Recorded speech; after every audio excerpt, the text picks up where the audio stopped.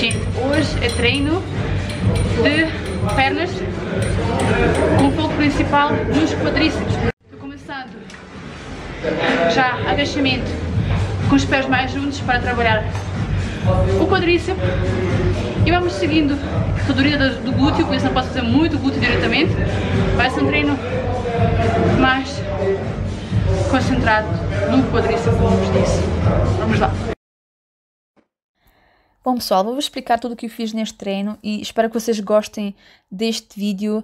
Uh, foi um treino simples, uh, eficaz e curtinho, por isso é ótimo para aqueles dias que não tens muito tempo para treinar, faz este estilo de treino que vais adorar.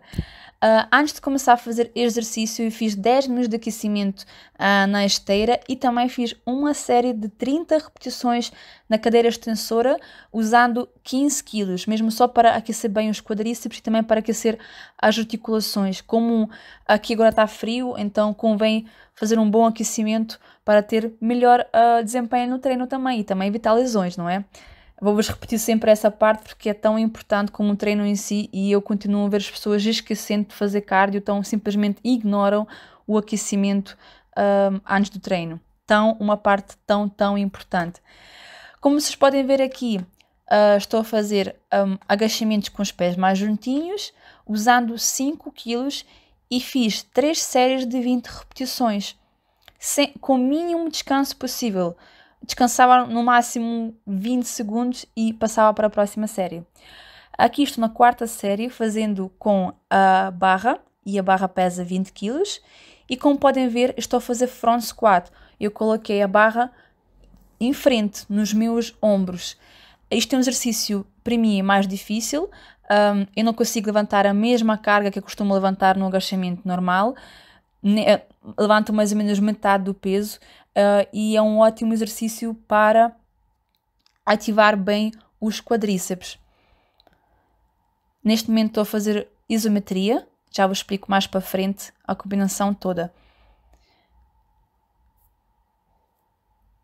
E com o mínimo descanso eu fui aumentando a carga e fazendo. Neste momento aqui, como podem ver, estou a fazer com 5 kg cada lado e fiz um, 15 repetições. Vejam só a postura. Costas direitinhas, fazemos 90 graus e com os pés na abertura menos de que largura dos vossos ombros para ativar mais o quadríceps. Vejam só, sem descanso eu passei para a isometria e aqui eu coloquei 10 kg para dificultar uh, o exercício, a ideia é vocês contarem até 20 segundos, 20, 30 segundos aguentando nesta posição. Vocês vão sentir bastante o quadríceps arder. É muito, muito boa a combinação. Com o mínimo descanso, mais ou menos de 30 segundos, é o tempo que demora para colocar o peso. Passamos para a próxima série, lembrando que isto é ótimo treino para quem não tem muito tempo para treinar. E continuamos. Indo até 90 graus. E outra vez vou lembrar para vocês que não interessa muito o peso, interessa a execução que vocês têm durante o exercício. A vossa última repetição tem que ser com a mesma execução como se fosse a primeira repetição. Uh, se vocês estão a ver que vocês estão a falhar uh, na execução do exercício, então parem ou tirem a carga, diminuam a carga, ou então descansam e façam bem feito. Ou o pior que pode-se fazer é fazer exercício com muito, muito peso e de forma errada. É, não vais nem buscar resultados que tu queres e também nem vais uh, e também estás à procura de uma lesão. Então é tudo errado. Não interessa muito o peso. O peso tu podes só colocar mais quando tu já sentes confiança e faz de boa, com bom, boa performance com pouco peso, aí sim já aumentas peso, continuando a fazer com boa performance, tá?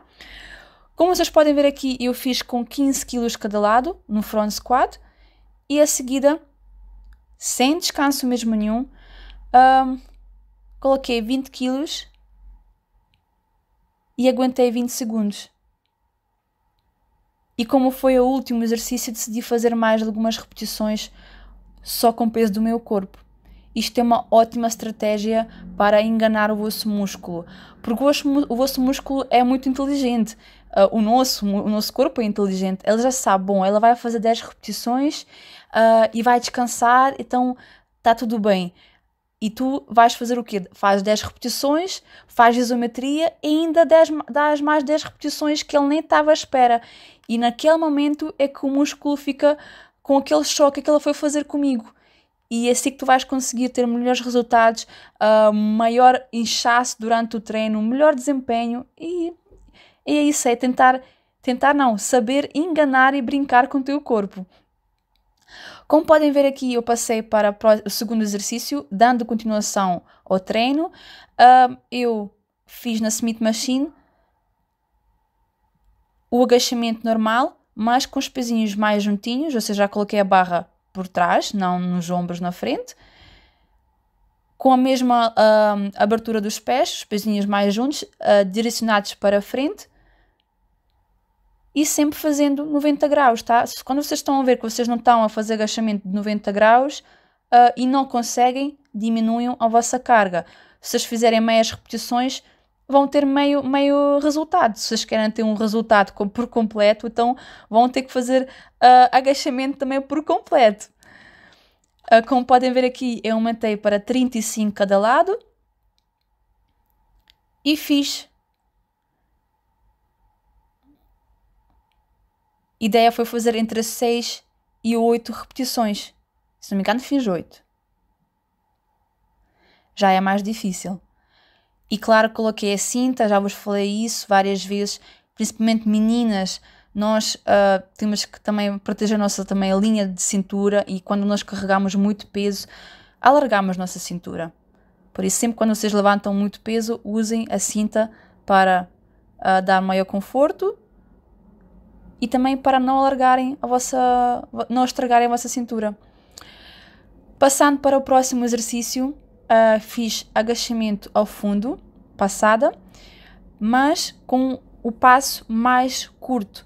Uh, normalmente eu costumo fazer o passo mais, uh, com passo mais largo nos treinos de glúteos e posteriores.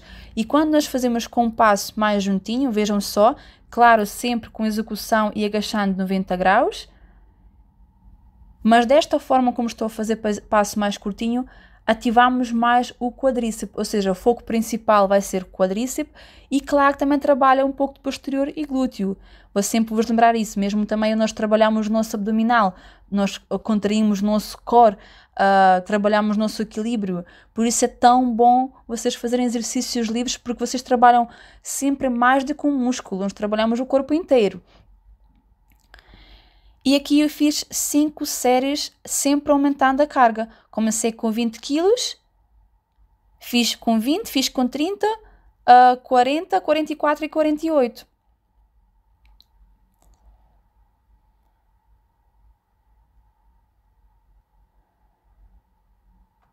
Aqui eu decidi fazer uma combinação de agachamento a fundo com salto, em salto, que já é mais avançado, muito importante quem é tentar fazer exercício, cuidado com o joelho também, para vocês não baterem com o joelho no chão e não lesionarem.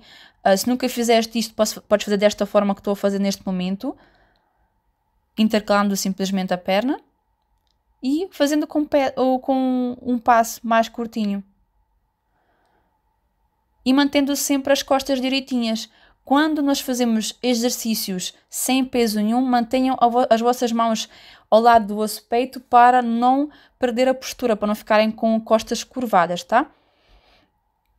Esta aqui é a última série. Uh, coloquei 48 quilos e já usei a cinta outra vez, porque já é mais, mais peso, então uh, quando vejo que estou a carregar muito, eu coloco a cinta. Isto é uma cinta que não é para vocês usarem durante todo o vosso treino, vocês só colocam na hora quando vocês levantam muito peso, tá bom? De resto, tentam manter sempre o vosso core contraído de forma por vocês, por conta própria, sem ajuda da cinta. Porque acontece, algumas pessoas usam durante todo o treino, depois o que acontece é que o nosso core fica uh, mais fraco. Então, para isso não acontecer, usam só no momento-chave.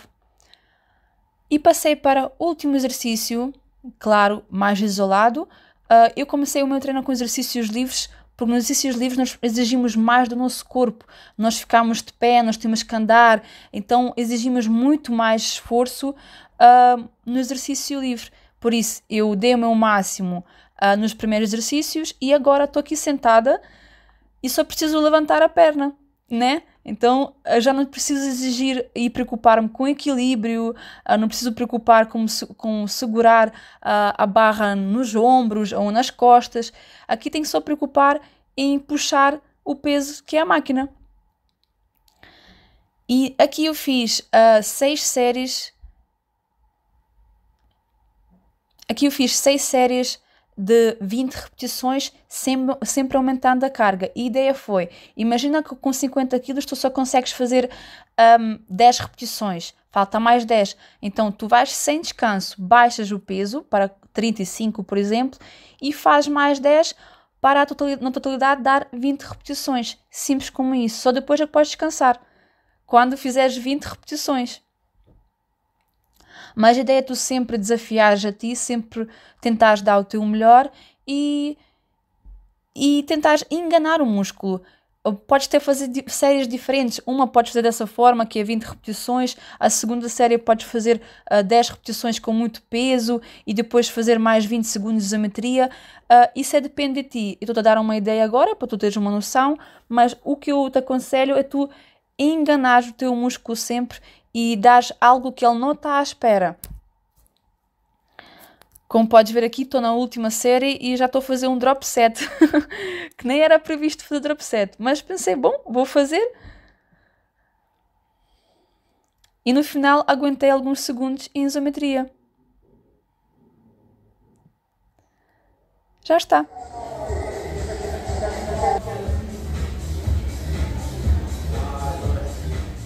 Vejam só o pump uh, do treino que deu. Uh, quando tu consegues mexer o teu músculo desta forma é porque o sangue todo parece que foi para a quadríceps, né? E é isso. Espero que vocês tenham gostado do treino. Beijinhos, façam e até a próxima. Fui. Gente, já está feito o treino. Foi um treino bom, um pouco diferente. Variei exercícios e o pump está bem visível no quadríceps. Vejam só.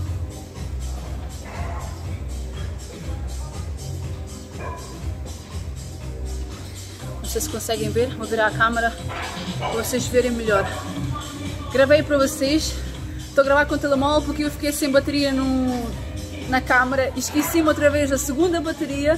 Também sinceramente não estava a pensar gravar o treino, mas depois como estava com um look tão lindo, olha, decidi gravar. No meio do treino decidi assim, não, vou gravar. Foi pedido das pessoas para me gravarem e gravei para vocês o meu treino, por isso vai estar aqui no canal, tá? Vamos embora. Quer dizer, acho que ainda vou uh, alongar um bocadinho